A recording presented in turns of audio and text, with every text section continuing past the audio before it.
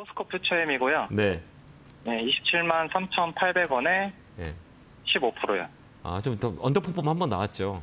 네네네. 이제 언더퍼폼이 나왔을 때 어떤 느낌이 드세요? 이거 지금 손절 쳐야 되나 뭐 고민이 많아서 가지고 아, 뭐, 아니 손절 치는 기준이 뭐예요? 우리 젊으신 것 같은데. 아, 그- 내가 이제 손절 치는 기준이 있잖아요. 그 기준이 뭐예요? 신저가를 찍으니까 계속 아, 네네. 저점을 네. 그 제가 본 저점에서 계속 더 내려가려고 하고 네네. 수급이 잘 안 들어오고 있으니까 아, 네네네. 시장도 별로 안 좋잖아요 2차 전지가 네네네.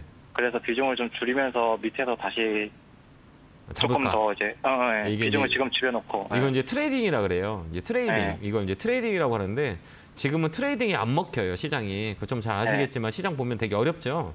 네 엄청 많이 어려워요. 그러면 우리가 이제 생각을 하는 거예요. 이제 어떤 생각을 하냐면 이 마지노선이 있어요. 그러니까 네. 대형주의 특징은 뭐냐면 이제 대형주를 잘 하기 위해서는 이제 대형주를 많이 들어가서 손해를 많이 봐야 돼요.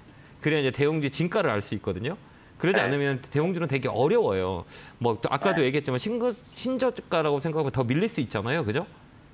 어, 네. 일반적으로 보면 이제 저점을 깨는 거잖아요. 그 네. 바닥의 라인을 깨면 어떻게 되냐면 사람들은 손절이 많이 나가요. 그건 코스닥에 대한 문제고요.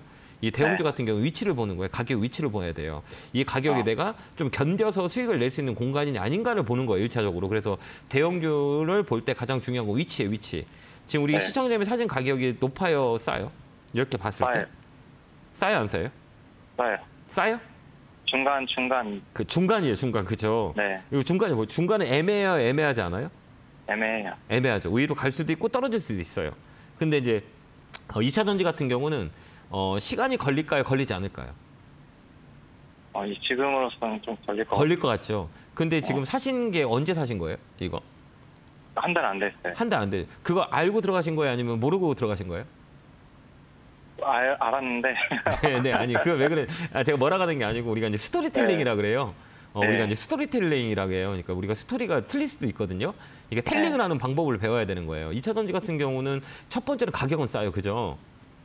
가격은 네. 싸지 않으세요? 싸잖아요. 네 왜 그러면 네. 가격이 대형주는 50% 빠지면 이제 저점이라고 생각해요. 그러니까 고점 대비 50% 빠지면 외국인 기관들이 지분이 있기 때문에 50%가 빠지면 얘들이 들어와요. 이제 기술적 네. 반등이 들어와요. 그러면 이 종목들이 업종을 봤을 때 상반기 내내 빠진 거 작년 6월부터 1년 정도 빠졌어요. 딱 이제 2차 전지가 빠지기 시작한 거 1년 됐거든요. 네. 그리고 올라간 것도 1년 동안 올랐었어요. 그럼 똑같죠. 아. 1년 올라가고 1년 빠졌어요. 어, 그다음에 네. 가격은 50% 빠졌고 그럼 이 자리에서 우리가 이제 생각을 해야 되는 거예요. 아, 내가 조금 이 가격은 합리적인 가격이고 좀 싸, 싸다고 생각하는 가격이야. 그럼 2차 전지는 좀 정치적 불확실성이 있어요. 그죠? 네. 리스크 때문에 많이 밀리는 거예요. 그러면 이게 심리적인 영향이 더 크단 말이에요. 그죠? 맞아요 그렇게 되면 이거 외국인 기관들의 입장에서는 결국은 2차 전지는 이 퍼포먼스가 커질 수 있는 산업이거든요. 근데 외국인 입장들의 입장에서는 주가가 더 빠지는 게 좋아요? 아니면 주가가 올라가는 게 좋아요? 돈 많은 사람 입장에. 게 좋죠 네. 그렇죠. 맞죠. 왜 그러냐면 이 가격이라는 건 자기들이 산 가격이 있기 때문에 평균가가 있어요. 그렇기 때문에 이 종목은 2차 전지 다 그래요. 저는 지금 2차 전지 사야 된다고 하는 사람이라 아 저는 이 가격이면 우리가 붙어서 우리가 그 수익을 낼 수 있는 공간이기 때문에 사람들은 네. 다 사지 말라 그러잖아요. 다 손절하라고 하거든요. 맞아요 근데 왜 손절해야 되는지 저는 이해가 안 가요. 이 가격이면 우리가 버틸 수 있는 가격이거든요. 왜 그러냐면 어. 어, 50% 빠지잖아요. 그럼 반등이 어디까지 들어오냐면 자연 반등이라 그래요. 그럼 과대 따른 반발 매수가 들어와요. 무조건 25%? 들어오거든요. 예, 20%까지 올라와요. 그러니까 얘는 이 시간을 주면 손해 보고 나올 자리는 아니에요. 더 밀린다? 그냥 두- 더 사면 돼요. 그 자리가 어디냐? 요 자리잖아요. 여기가 네. 23만 원까지 가 밀렸었거든요. 이거 오늘 밀렸죠. 근데 윗꼬리에 네. 이 비석형이에요. 내일 양봉 들어올 수 있어요, 얘들. 네. 윗꼬리 이게 candle이라고 하잖아요. 이거는 그냥 네. 밀어놓은 거고 여기 보면 윗꼬리에 비석형이 나왔거든요. 이렇게 빨갛게. 그럼 여기는 저점의 시그널이에요. 내일 양봉 하나 나오잖아요. 그럼 얘는 28만 원, 그다음에 30만 원. 요까지는 볼 수 있어요. 여기는 박스권이라 그래요. 이 나이까지는 들어올 수 있는 상황들이 있기 때문에 굳이 저라면 사진 않을 팔지 않을 거예요. 좀 더 살 타점을 잡을 것 같아요. 이게 코스닥이라면 손절하라 그래요, 제가.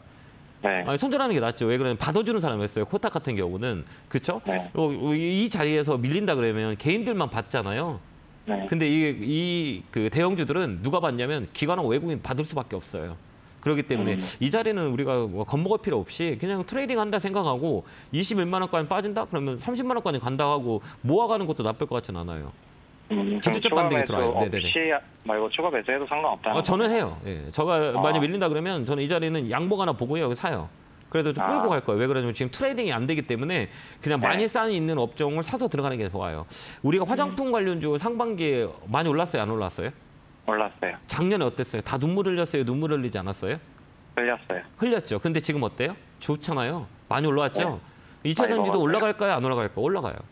네. 삼성전자 작년에 SK 하이닉스 상반기 어땠어요? 안 좋았잖아요. 하반기부터 좋아졌죠. 작년에 밉상주였죠. 재작년에 삼성전자 SK 하이닉스 어땠어요? 밉상주였잖아요. 많이 네. 올랐죠. 똑같아요. 대형주 사이클 있어요. 그러니까 요 2차 전지 갖고 계신 분은 저, 저라면 지금 여기서 컨택할 수 있는 부분이다. 남들 다 팔으러 갈 때 사는 게 맞죠. 맞습니다. 아, 저는 그렇게 생각해요. 여기서는 뭐 던질 자리도 아니에요. 만약에 이 자리가 우리 시청님이 어. 사신 분이 뭐 40만 원, 50만 원이라고 하면 고민해야겠죠. 그렇죠? 네. 근데 이 네. 가격이라면 우리가 좀 버틸 수 있는 가격이 아닌가라는 생각이에요. 그렇게 도망가지 마세요. 알겠죠? 네. 네, 어, 감사합니다. 한번 예, 쫙 견뎌 보세요. 알겠죠? 네. 힘내시고 응원할게요. 네, 감사합니다. 네, 감사합니다. 고맙습니다.